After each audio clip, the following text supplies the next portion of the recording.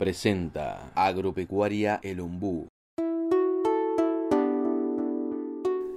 Un poco de, tocamos un poco la historia, que a veces este, es bueno en, en, porcentaje, en rango. que Yo creo que hay mucha gente de acá que tampoco debe saber de dónde sale el nombre. Si bien, ¿cuántos habitantes tiene aproximadamente cada campana? No, cantidad de visitantes no, no tengo ni idea. Hay 85, 86 viviendas de Mevir, que son dos planes. En el 91 se inauguró el primero y a fines del 97 se inauguró el segundo.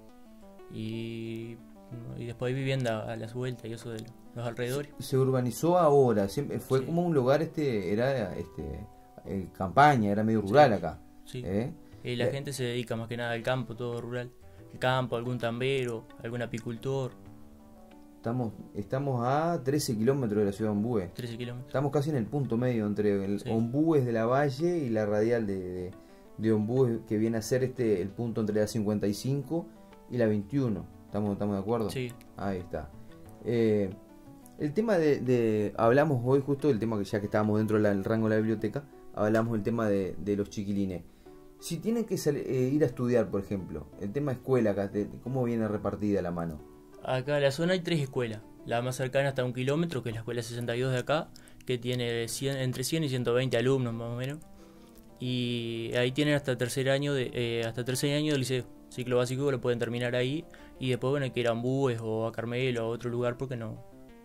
Sí, tenemos que, pensar en carrera más, más eh, algo más alto. Tenemos que ya o tirarnos hasta Ambúes y seguir hacia la ciudad Soriano o venirnos acá al departamento de Colonia y hacer tanto Colonia como, como Carmelo. Sí. Son los lugares que, que... ¿Qué es lo que eligen más los chiquilines? ¿Qué Porque a veces sí, bueno, es como romper el cascarón, salir del, liceo y me voy a Colonia, hay muchos que se disparan a Montevideo, ya hoy es más atípico irse a la capital, porque si bien tenés todo, tenés, estás laburando, ¿qué, ¿qué, es lo que más eligen? Vos que, que debe tener un montón de amigos acá, te deben de comentar, ¿qué es lo que más este, se fomenta en esa parte. Si bueno, me voy a Montevideo, me quedo en el departamento de Colonia. ¿Qué es lo que eligen los sí, Hay, de todo. Hay algunos que han preferido irse a Colonia, otros han ido a Montevideo, otros que por ejemplo terminan la escuela y prefieren ya empezar el liceo en Ombúe porque prefieren, porque piensan que después en tercero ya cuarto les va a costar adaptarse o así. Pero hay otros que como, yo, que terminé acá el liceo y seguí en, en estoy haciendo cuarto. Jovencito Santiago y ya arrancando con el. Este ah. Terminé, terminé, tercero acá y hice, hice cuarto en un Ah, está bien, está bien. Entonces, no lo vamos a sacar lo de jovencito. No, no, no. Si bien este, estamos arrancando de, del punto de base que, que también estás en el, estás haciendo radio, este, comentando un poco el tema de, que estás haciendo radio en, en, la en un bus de la Valle. Eh, ¿Hiciste carrera de locución? ¿Vos hiciste algo Hice un video curso de locución. Ajá. me mandaron el, el video y yo después lo fui estudiando de ahí de videos y lecciones grabadas que eran. Y después me mandaron un examen y lo tuve que completar. Así que en, eh, en cierta parte del programa ya lo hemos estado charlando con Santiago, así que en cualquier momento lo puedes ver a Santiago en la cámara. Bienvenido a Show TV. Este, vamos a ver qué dice, porque mirá que yo no soy solo acá, ¿viste?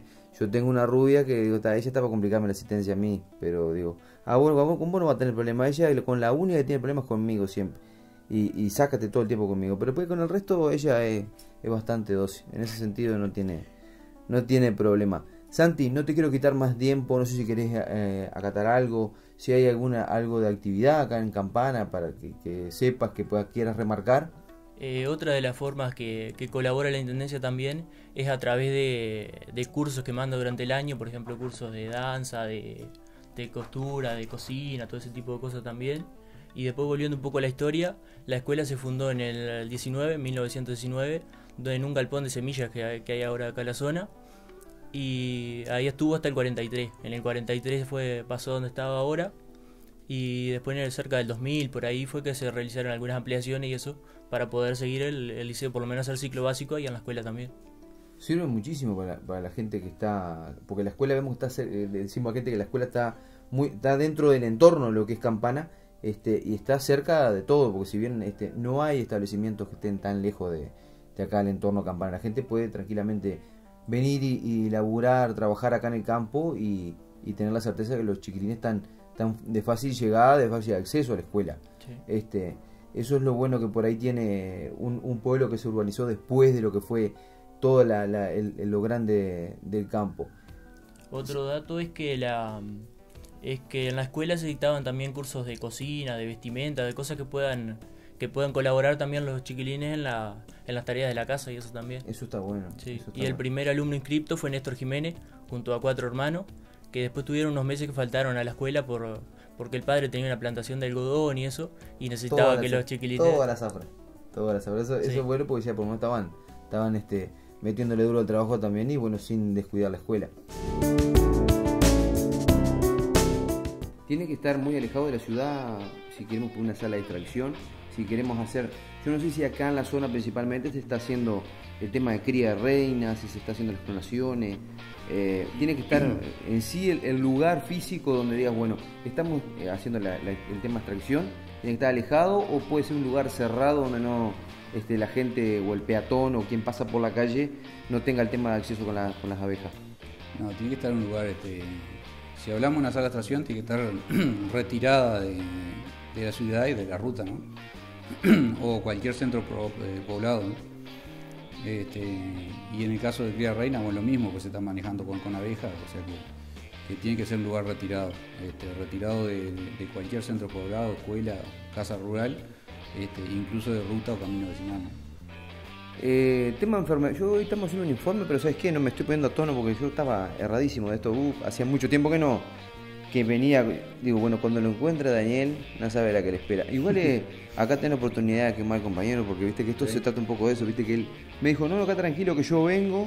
Viste que yo vengo, que le doy una mano a usted. Y se, se fumó. Justo hoy tenía que salir para el campo. Sí, justo hoy yo creo que este, bueno, ahora me está sonando el teléfono, creo que, que debe ser él para felicitarme que estamos haciendo la nota y que él no, no me acompañó, pero bueno. Bueno, tenés una a favor ahora porque viste que tenés la a favor.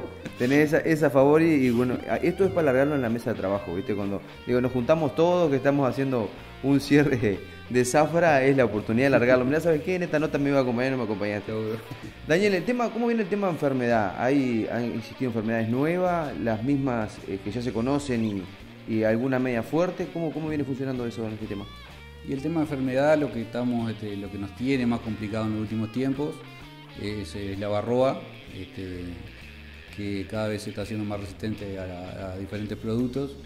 Este, y bueno, tenemos que optar hoy por hoy por empezar a usar este, bastante producto orgánico, este, por problema para que no quede residuo en la miel, porque al, tener que cu- curar en varias oportunidades durante el año, con los momentos que, los momentos que hay entrada de néctar, hay que cuidar eso. Este, de no poner productos sintéticos porque eso deja residuo en la miel. Y, bueno, la, barroa es el principal. Y bueno, ahora estamos teniendo un, pequeño rebrote ahí este, de lo que fue hace unos años, eh, de loca americana. Se está viendo alguna colmena así puntual.